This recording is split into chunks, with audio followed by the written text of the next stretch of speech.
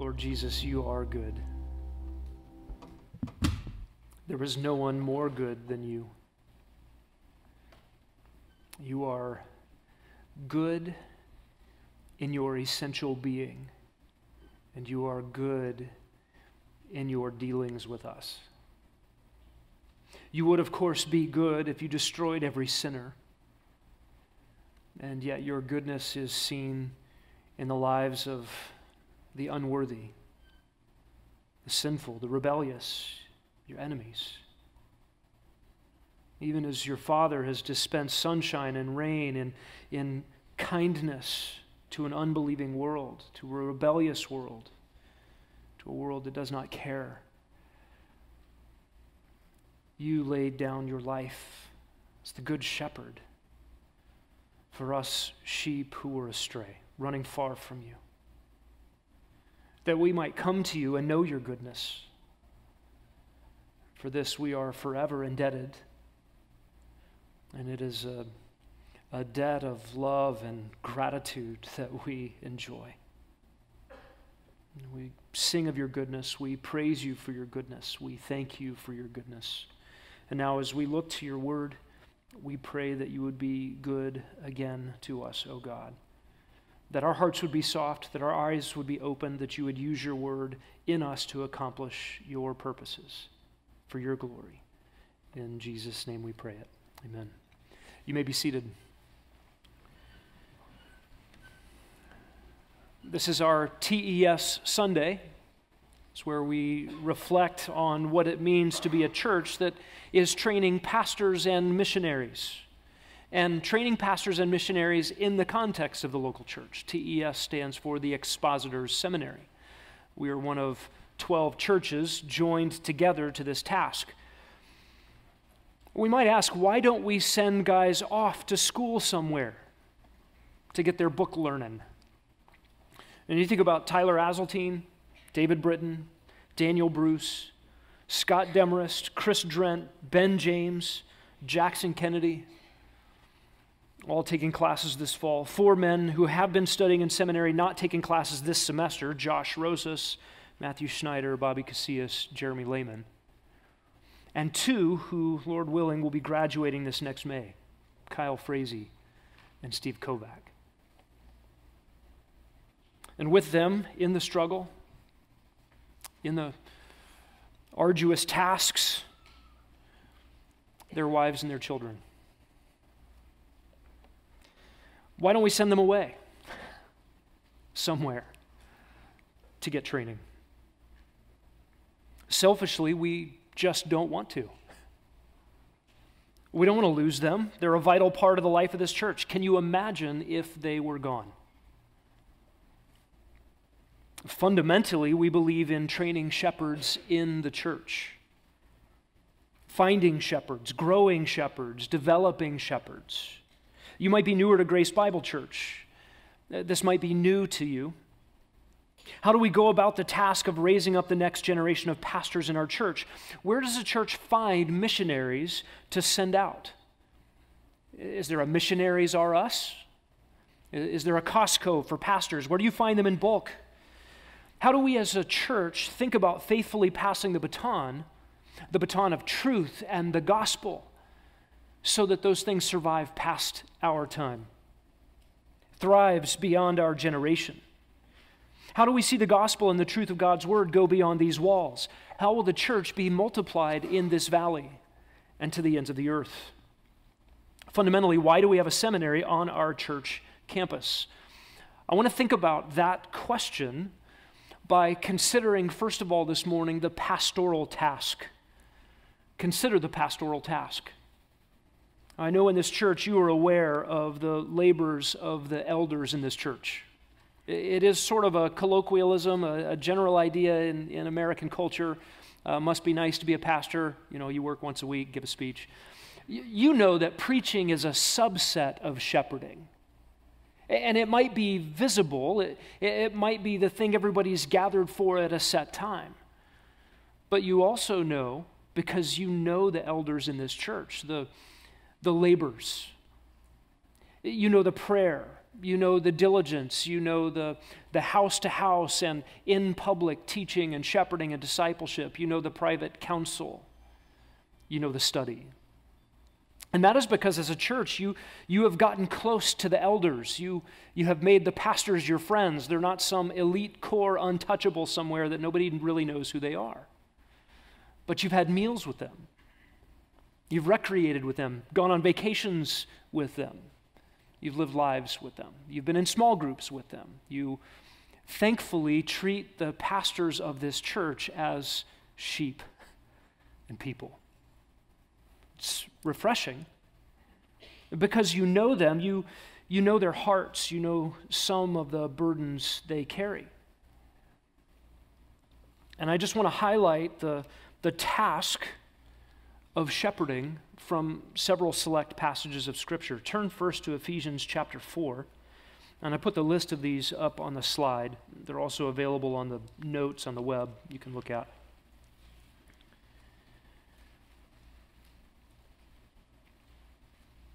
In Ephesians 4:11, we read from the pen of the apostle Paul that Jesus gave to the church some offices. Some of those were foundational in the first generation only apostles and prophets, uh, perhaps evangelists, if that was a miraculous first generation uh, office.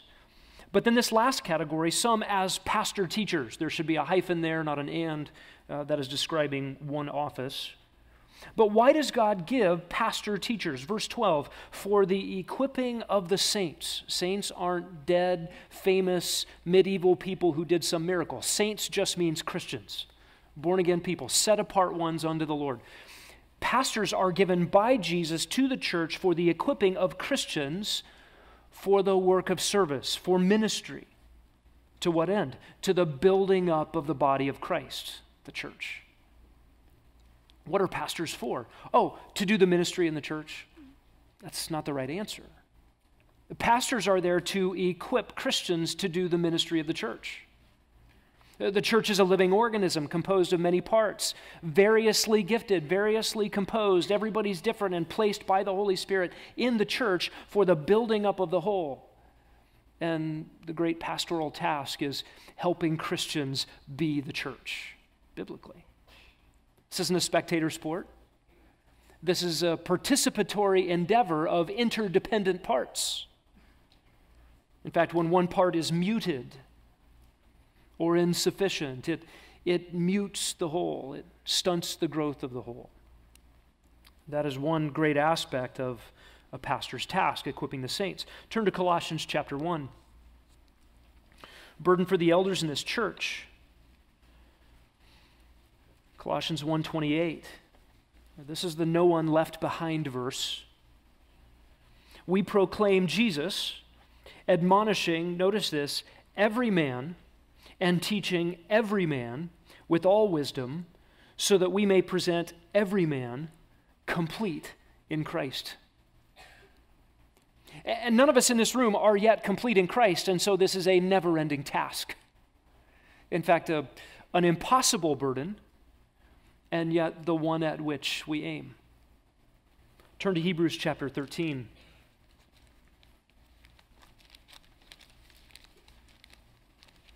In Hebrews 13, 17, we get another glimpse of the pastoral task.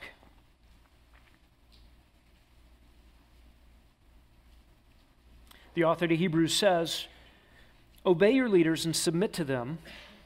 Notice this, for they keep watch over your souls as those who will give an account. That's heavy, that's weighty. Pastoral task is to oversee, to, to watch, to give soul care, accountable soul care. Pastoral task is, a, is the weighty one that answers to God for every man complete in Christ and for the equipping of the saints and for the well being at a spiritual level of everyone in the church who is adequate for these things. Turn to Acts chapter 20.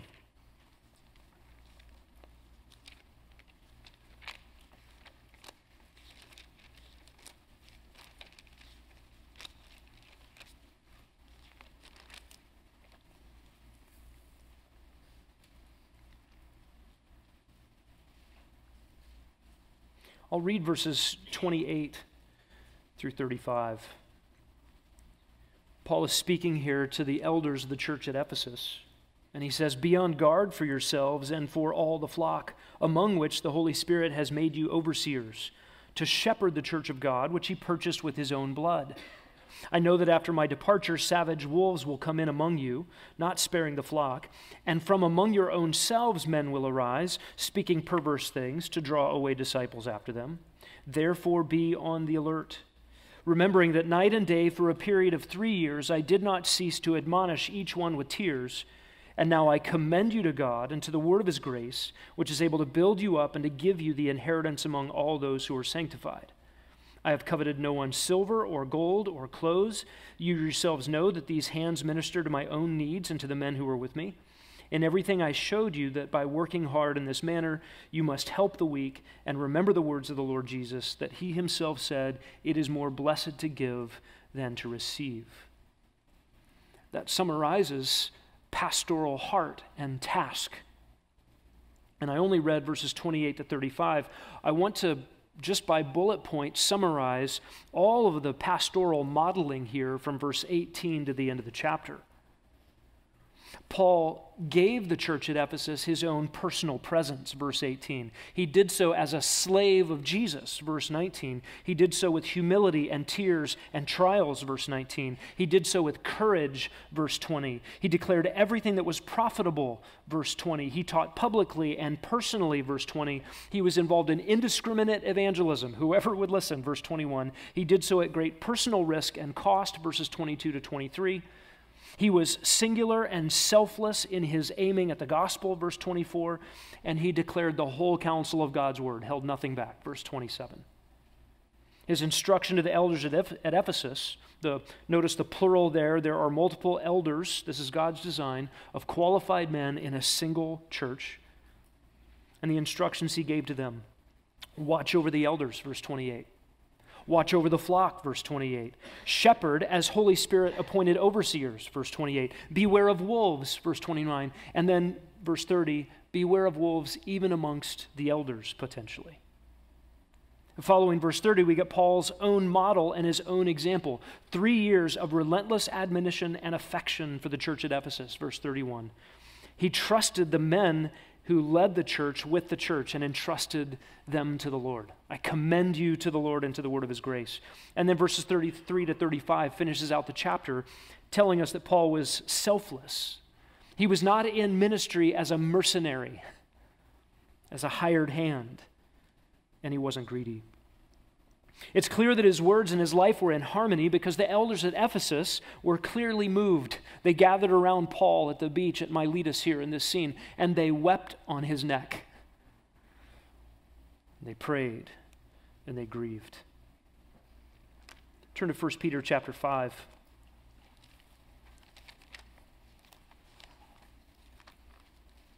Another window into the pastoral task in the first four verses of this chapter.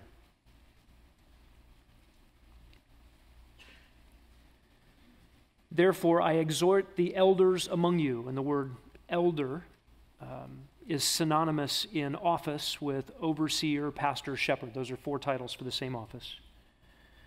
I exhort the elders among you as your fellow elder and witness of the sufferings of Christ, and a partaker also of the glory that is to be revealed.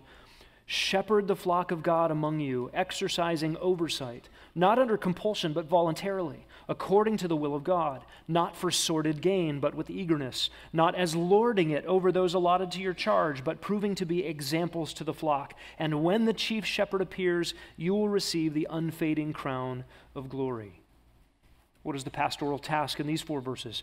Shepherd the flock, verse 2. Do so in proximity with them.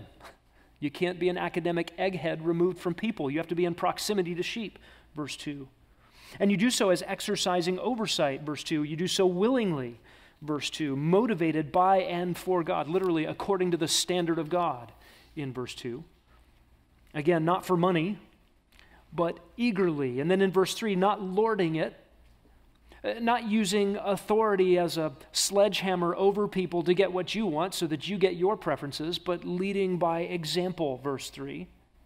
And then as a steward, not the owner of the church, whose sheep are the flock of God. They belong to Christ. He is the chief shepherd. Any pastor is an under shepherd.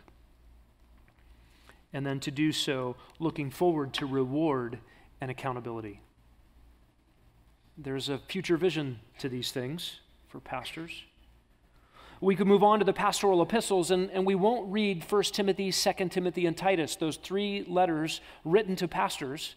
You remember that in 1 Timothy 3:15, Paul told Timothy, "I'm writing this to you so that you will know how one ought to conduct himself in the church, which is the household of faith and the pillar and support of the truth." It's something of an instruction manual for how to do church.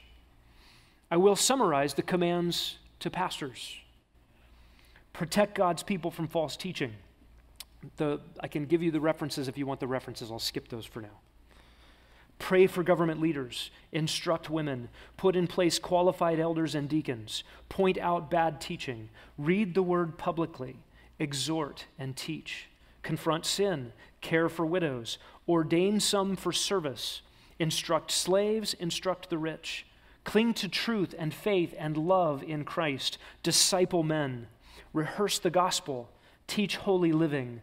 Refute and correct false teaching, detect wolves amongst the sheep, prepare God's people for persecution, continue to teach, reprove, correct, and train with the God breathed word, preach the word, do the work of evangelism, appoint qualified leadership, silence rebellious men and false teachers, speak sound doctrine, instruct men and women, encourage godly living, rehearse the gospel and its effects. Teach God's people to submit to the authorities over them.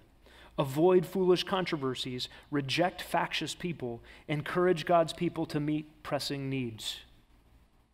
All of those are the pastoral tasks given in those pastoral letters.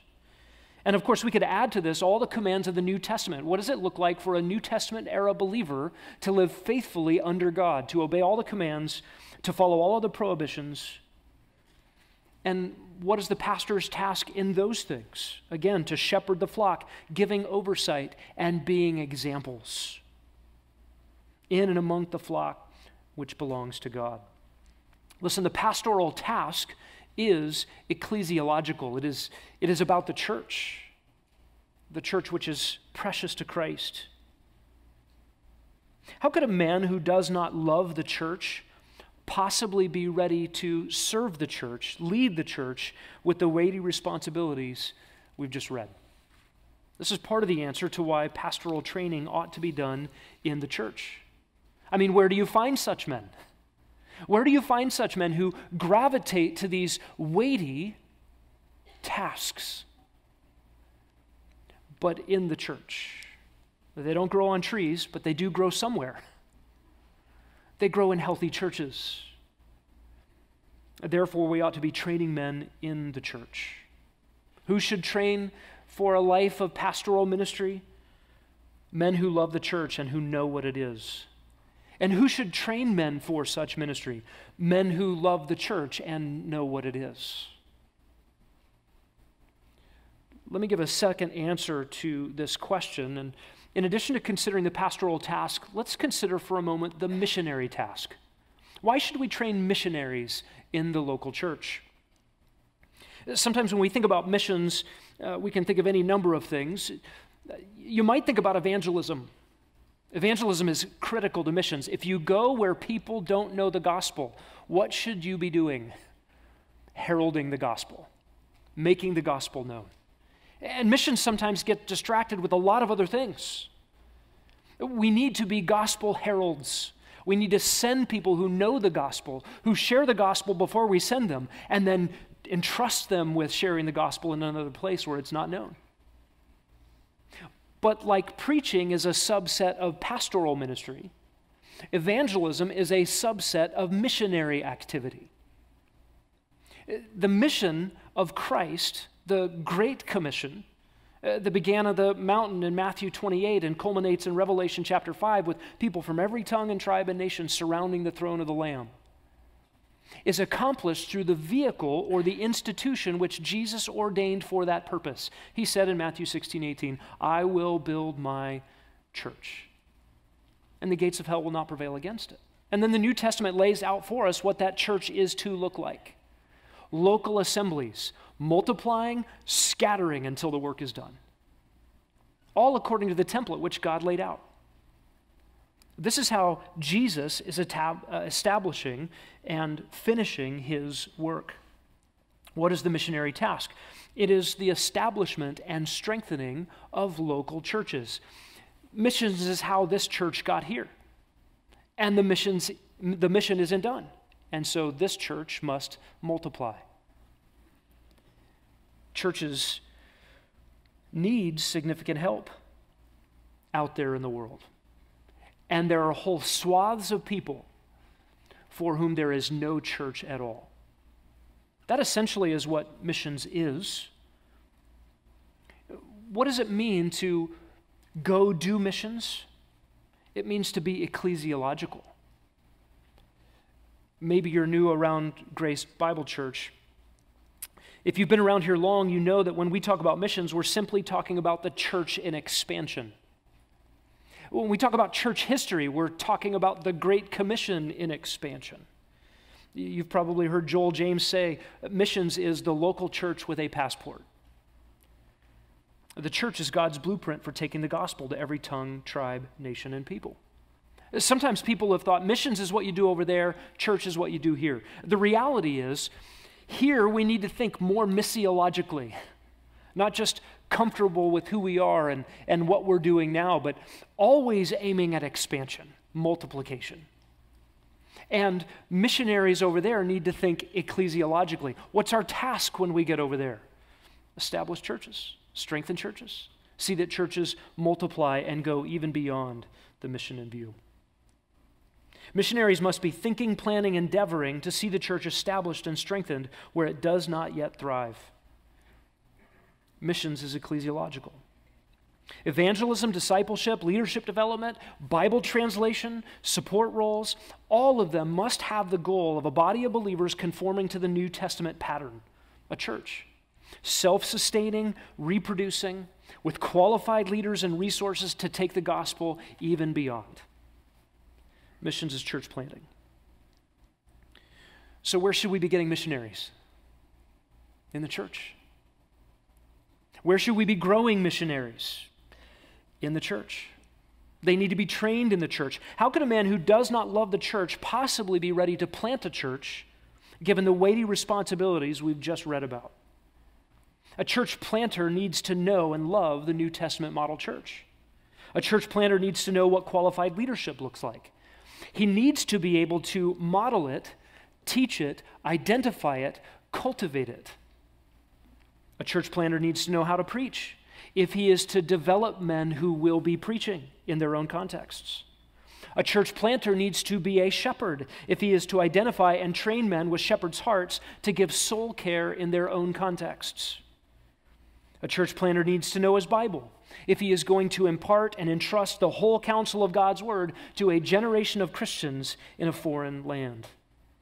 And a church planter needs to be an exegete that is skilled at rightly dividing the Word of God, if he's going to be involved in Bible translation, teaching, teaching others to teach, all the tasks of missions.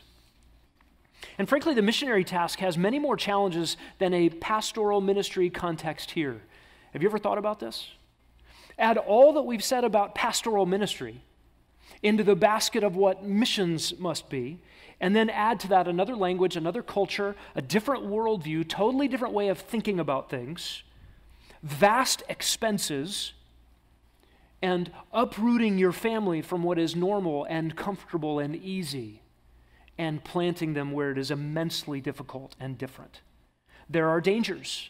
There is distance and isolation, and oftentimes a missionary is starting from scratch taking a, a land of unregenerate people with no church background, maybe no Bible in their language, who have never heard the gospel, and maybe never even met someone who knows the gospel. A land where people speak differently, think differently, live differently.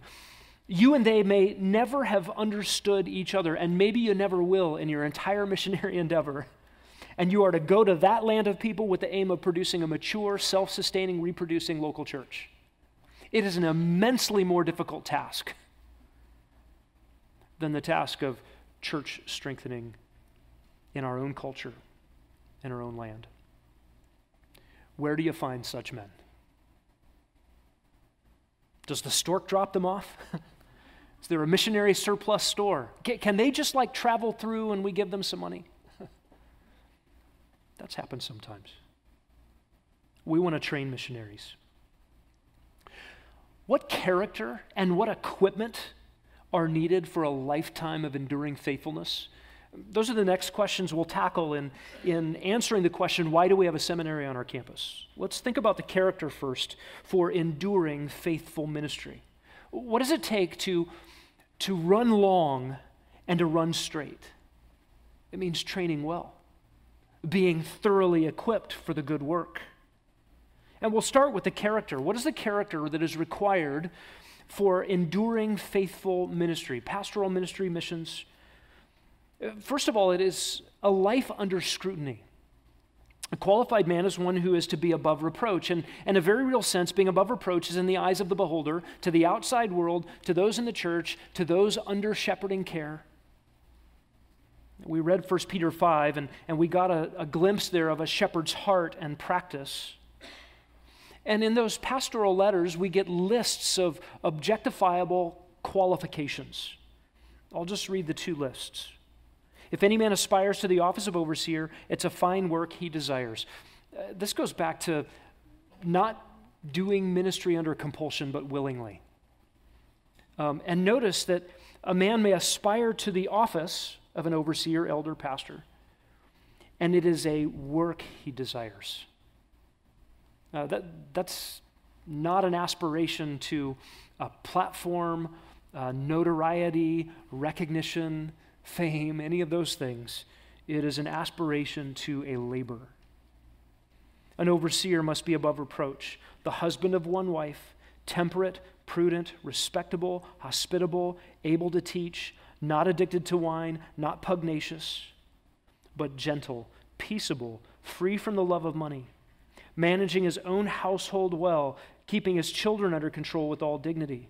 If a man does not know how to manage his household, how will he take care of the church of God? not a new convert, so that he will not become conceited and fall into the condemnation incurred by the devil. And with a good reputation with those outside the church, so that he will not fall into reproach and the snare of the devil. The second list in Titus 1 above reproach, the husband of one wife, having faithful children, not accused of dissipation or rebellion. The overseer must be above reproach as God's steward, not self willed, not quick tempered, not addicted to wine, not pugnacious, not fond of sordid gain, but hospitable, loving what is good, sensible, just, devout, self controlled, holding fast the faithful word which is in accordance with the teaching, so that he will be able both to exhort in sound doctrine and refute those who contradict. A man has to be a shepherd over his own heart. He has to be a shepherd in his own home, in his close relationships, before he can be a shepherd of others in the church. What is the equipment needed for a lifelong, enduring, faithful ministry? For pastors, for those we would send to places with no church, no gospel, no Bible? They need to train well, to run long and run straight. A man needs tools to be a lifelong student of the Word of God. Listen, you don't go to seminary and get the answers. And for those of you in seminary, I'm apologizing to you now. If you've thought I'll have the answers by the time I graduate, you're not. You're going to have the tools to do the spade work of a lifetime as a student of God's Word. For a lifetime of work, uh, chipping away at the immaturities of your own character for a lifetime of work exploring the depths of the riches of the knowledge of God to be dispensed to God's people. In seminary, you will get the tools that you need for a life of faithful ministry. For a lifelong disciple relationship to Jesus Christ, a lifelong learner, and a lifelong servant of his bride, the church. So, what must seminary give you? What must pastoral training give? Well, there must be academic rigor. Eh, there must be the, the rigorous attention to the tools required for rightly dividing the Word of God, for rightly understanding, for cutting it straight. A man has to know the Old Testament and the New Testament, have a thorough knowledge of the Bible. And a man, for a lifetime of ministry in our day, needs to have the knowledge of the Bible in the original languages. At some level, if, if a man only has access to the Bible in, say, English, he will always be dependent on others. You know, the, the early bird gets the worm, unless you're a baby bird, and then you get the regurgitated worm from mom, right? There's a sense in which if you are going to give your life to teaching God's word and, and the whole counsel of God's word and shepherding God's people, there has to be a rigorous access to the truth of God's word as written. It, it means there's some extra work for us who did not grow up speaking Hebrew or Aramaic or Greek. The seminary provides the academic rigor of learning the original languages the Bible was written in and then doing exegesis. Big, fancy seminary word. It just means how do we get the meaning that God intended out of the text so that we're not putting our own meanings into the text. So that the preacher, the proclaimer, the biblical counselor, the theologian, the missionary, the Bible translator is slave to God's word, not making God's word do what you want it to do It takes a lot of work. And listen, the original language rigor that is pressed in our pastoral training is like the spinal column of everything else that the men get. And what I mean by that is uh, we do our theology not by reading the coolest guys in history and finding out what did they say the answers were. We do our theology by what the Bible means by what it says. When we do the discipline of church history, we, we're looking back at where the church has succeeded and failed. What lessons can we learn? Uh, who can we look to as, as exemplary in church history? But we do all of that through the filter of exegesis. That is, what does the Bible say about how doctrines are to be held? And where did the church rise and fall? Did it meet the standards of the template of the New Testament? We're not particularly interested in the, the train of human traditions as much as how did those traditions and histories line up with the Word of God? When we do the discipline of biblical counseling, the, the, the, task is what does the Bible say? What does God say? And how does that apply to the human heart? Now, there are many tools and resources from those who have been exegetes and shepherds and have cared for people, and we get to glean the benefits of what they've thought about when it comes to anxiety or any of the other issues that biblical counseling may address. But how much better equipped if a man is not regurgitating answers, but owning them from the scriptures? It's the shepherd's task. You think about all the disciplines that happen in a seminary education, they, they all flow out of this spinal column of exegesis a man knowing his Bible and being governed by his Bible. It shapes your pastoral ministry. It shapes your evangelism and your missions. It shapes how and why you do corporate gathering and music. It shapes how you do your counseling. It shapes your theology. You're not free to just have big, deep thoughts about God with other people having big, deep thoughts about God. You are tethered to the Word of God in His own self disclosure. This is critical. I know it's for many who have gone to seminary, many who aim at seminary, and even amongst seminaries in our day, the, some of the thought has been well, you got to learn the languages, it's sort of a rite of passage, check off the box, get it done. Um, you, you need to prove that you can uh, work hard and think at something. It's, it's like the reason you did geometry in junior high. Do you remember that? Um, you who are studying geometry now, close your ears. You, you need it for life. But the rest of us, after the fact, are going, why did I do that? Just to make sure my brain could do stuff like that. Unless you're in an industry that still uses Euclid. The languages aren't like that. You don't study Greek just to get it done. You study Greek to know the Word of God so that you know the God of the Word so that you can bank your life and your ministry on what He has said and to do so with a precision and accuracy that the ministry demands. The academic rigor that we press on the men in, in the training here closes out with apologetics. If you've uh, heard the word apologetics, kind of sounds like the word apology. I'm so sorry I'm a Christian. Let me explain it. Uh, sometimes it refers to the defense of the faith. You know, um, when we talk about apologetics, what we mean is God is sovereign and God saves sinners, and man is helpless, hopeless, spiritually dead without the supernatural work of God. What we mean by apologetics is the doctrines of grace applied to life and ministry. And if you think doctrines of grace and you're thinking about a flower with an acronym, TULIP, you can work your way through those. Um, man is sinful, totally depraved. And without the supernatural working of God, he will forever be a slave of sin and dead in his transgressions. What's the bottom line? If he is to be alive, God has to take the initiative. And that's done in eternity past in election. God knows, foreknows, foreloves, and calls people to himself. And then God sent his son in the person of Jesus Christ. You think about the atonement, you think about propitiation. Jesus laid down his life for his sheep to actually secure them for eternity. And then the Holy Spirit effectually draws people to himself to believe the gospel. And if you're a Christian here today, you're a Christian because God's Holy Spirit made you alive. And God seals the deal and secures you by the blood of his Son and by the sealing of the Holy Spirit. In other words, salvation of sinners is God's work through and through from beginning to end. The implications of that for how one does church or missions are staggering. Some people have said, why would you ever do evangelism if God is sovereign in salvation?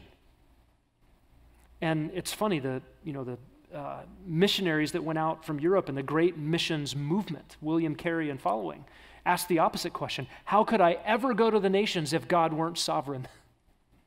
Because Christ had secured people from every tribe, tongue, nation, and people by his own blood. And the means by which they would show up in heaven is the missionaries going out. They went out with that confidence. And, and ministry is that way. It, it frees us up from coming up with pragmatic human solutions to deep spiritual problems. We don't make this up as we go. Actually, God has given us the script for what to say, how to say it, how to do ministry. And listen, humans can be innovators. We like to come up with some newfangled thing, some new way to do something, uh, some idea. We're entrepreneurs. God has already laid out the script. The task for ministry is fidelity to God's message and his methods. And when we talk about apologetics around the seminary, that's what we're talking about God's business, God's way, to quote Dr. George Zemek. That is the academic rigor involved in the classroom. The bottom line is our message and message but methods must be God centered, God dependent, and God glorifying. What environment is suited to the task of equipping missionaries? What environment is suited to the task of equipping pastors? If the pastoral task and the pastoral and the missionary task are as great as we've said. Listen, they can't be given the tools by bookwork alone. Men who will serve faithfully for a lifetime of ministry cannot be given mere academics. They must be given tools for study, they must be given heaps of knowledge. Uh, there is a, de- a deposition of entrusted truth, but their character must also be forged forged on the anvil of trials and hardships, the personal discipleship of elders in the church. They must develop humble servant leadership. Their lives must be scrutinized and watched and corrected and helped. They must chip away at immaturities. And then natural pride must be humbled, and educational pride must be humbled. Knowledge puffs up. We know that. It's axiomatic. And yet, God loves knowledge. Fundamental definition of eternal life is the knowledge of God and of Jesus Christ. Don't shy away from knowing stuff just kill pride. We need humility with truth. And all of this requires the local church. Number one, because pastors should be training pastors. People who are training for missionary and pastoral endeavors need discipleship from elders who oversee various ministries in the church with their variety of gifts. And because you, you are the local church. Seminary students need discipleship from seasoned saints. By the way, let me, let me just encourage you do not be intimidated by seminary students. They are learning to use big words. Sometimes big words get ahead of big hearts. Don't be intimidated by you, by them. They need you. They need your wisdom, your life experience. They need your diligent, faithful, step by step walk with Christ through life. They need to see the Word of God applied over years of faithfulness in your varied circumstances. Seminary students have much to learn from you, church. Education in isolation makes desolation. You may have heard, have heard seminary referred to as cemetery. That's where big hearted people with a spiritual pulse go to die. it can happen. I want to press for you the uniqueness of the Expositor Seminary experience for our men. And I can say this as a, a perpetual student and as a participant in the training. That you have a collection of pastors with a vision and passion and the equipping to dispense the necessary tools with the hearts of shepherds to forge character. Significantly, all of them are pastoring in local churches. They are not academics teaching theory from ivory towers they are involved in real lives, pouring out their lives for real people that God cares about, seeking to extend God's care to God's people according to God's blueprint. Out in the hallway, you can see the banner with the locations of the TES churches. Those are all local churches. And you can see the faces of the pastors whose task it is to train men on those campuses.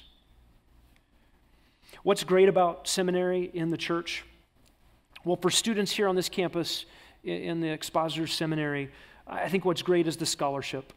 It is uh, more rigorous than just about anything out there. We are in a day where seminaries are moving away from original language training. That's a, that's a tragedy. Um, and, and the academic rigor here is tough, brutal, challenging. It's hard. And it should be. We want it to stay that way. The other thing that's great about seminary here on this campus and on all of the 12 campuses is mentorship. That the seminary students are up under the lives of those who care about them and want to replicate what they're doing.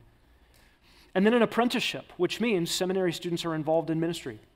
You'll see them teaching, leading small groups, uh, you'll see them uh, teaching Bible studies, serving in various capacities in the church. Um, there is a on the job training aspect uh, to this academic approach. And then fellowship. They're sheep, part of the body of Christ. Um, their lives are intertwined with yours. Listen, if you want to be a surgeon, you should learn surgery from surgeons who actually surge. That's probably not the right verb. Sorry. If you want to learn shepherding, you probably should learn from shepherds not academic, isolated, unaccountable bookwork, but from pastors who week in, week out carry out the responsibilities of actually caring for people in real life. The great part about seminary in this church is the church, it's you. This is a great environment. Your God given gifts being used in the body of Christ, your love, your service, your fellowship, your lives laid down as sacrificial worship to God, gathering together to love one another, to be members of one another students are learning Greek and Hebrew, systematic theology, church history, missions, preaching, pastoral ministry in this context. In other words, they're, they're seeing at one level a, a church that is growing towards the things they need to be aiming at in ministry down the road. And this has several effects. Number one, it instills in them a love for Christ's church. Secondly, it provides for them love from his church. They need to experience that.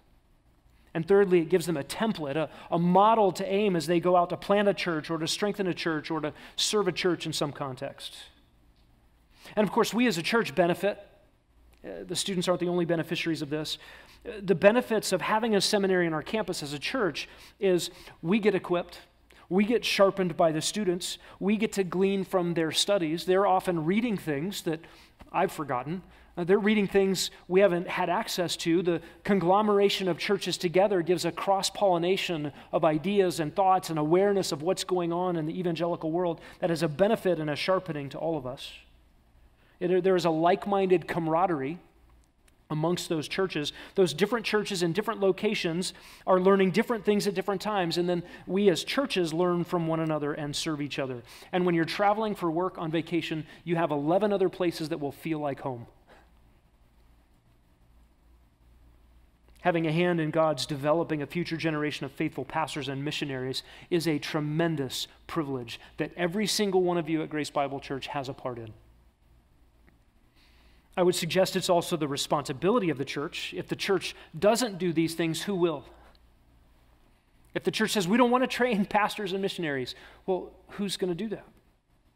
This is the role of the church. It is the responsibility, in addition to that, for pastors to train pastors. 2 Timothy 2 2 says, Entrust these things to faithful men who will be able to teach others also. The church has not always done this well. Sometimes it has ferreted out this responsibility to other institutions. It is a daunting responsibility with real challenges. You think about a, a, pastor with many responsibilities. Eh, think about one pastor in a small church in a small town. H- how could he think about doing all of these things? How do I have time to train men when I have to fold the bulletins, play the organ, preach the sermons, care for all the people? Mary and Barry. The reality is, a pastor in a church must be about discipleship and training men. At some level colossians 1.28 everyone complete in christ. Part of that is identifying and cultivating servant leaders in the church so that he may pass the torch of biblical truth to faithful men who can pass the torch of biblical truth to faithful men who can pass the torch of biblical truth to faithful men who can pass the torch until christ comes back. What's hard about doing seminary in the church? There are some challenges. One of the challenges is the stretch Students are stretched by us. They, they don't just get to go to class, they have to hang out with us. And we're people, and we sin. They experience that. And, and then seminary students stretch us as a church. I mean, they're sinners too. They're learning, they're growing, there are growing pains. As students that are learning to teach and preach and counsel and disciple, we as a church get the opportunity to graciously help them, provide a platform for them. It, it requires for us patience, humility, a long view. You want to have a hand in God's development of a future generation of faithful pastors and missionaries. Being part of that requires love and patience. I know when I was a seminary student, there were some godly people in the church who put up with me. Some godly people with a lot of mileage in the Christian life who invested in me, provided a context for me to learn and grow and try. The other part about having a seminary in the church that's really hard is the goodbyes. We want to send the best. We don't want to send from us the people we'd rather be rid of. We want to send the people we think we can't do without. Think about our friends and fellow laborers to whom we've already said goodbye. You know, it's been over a year since Gilbert Bible Church planted. Tyler, with Josh, with Tom, and 150 of our friends. We sent our friends to Papua New Guinea, and 13 weeks from now, send some friends to New Orleans. But this church has embraced these hardships as the necessaries of carrying on our bit of the Great Commission. 2 Timothy 2 2, entrust these things to faithful men who will be able to teach others also. That means identifying and developing faithfulness and then entrusting to men who prove to be faithful the truth that must be contended for, preserved, proclaimed, and lived out. And this task, their task, will be to do the same after us until Christ returns. Again, pray for these students as they start another semester. Pray for their families. Get to know them. Ask them what they're learning. Tell them what you're learning. Get involved in their lives. They need you, church, and we need them. A reminder about how to give, if you're thinking about giving to the Expositor Seminary, you can get on the church's website. Uh, there's a tab for giving. You can specify places you want to designate. Uh, one of those is the Expositor Seminary. If you click on that tab, it will give to the seminary, the, the 12 churches together conglomerate in, in a general way and meet those needs. Um, there are other tabs on there again. If you want to give to a student and help out tuition costs for a student on our campus, there's a tab to do that. And if you have in your heart the desire to buy books for a seminary student, here, there's a tab to do that as well.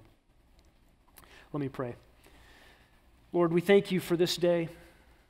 We thank you for the diligent labor of those who have taught us the gospel, of those who have opened your word from children's ministries to Sunday school classes to Bible colleges to seminary professors to faithful men and women who just took us by the side of the road and brought truths to bear. We thank you. Lord, we could never truly repay such a, an immense gift from you through those means. But if you would be pleased to make us instruments in your hands, fit for the continuation of this work, we would love that. Oh Lord, would you use us? Would you use this church to bring a multiplication of faithful local churches in this valley and to the ends of the earth? Would you use these precious saints in this church to pour into the lives of those who would train for lifetime of ministry in the church and where there are no churches yet? We ask it all for your glory. In Jesus' name.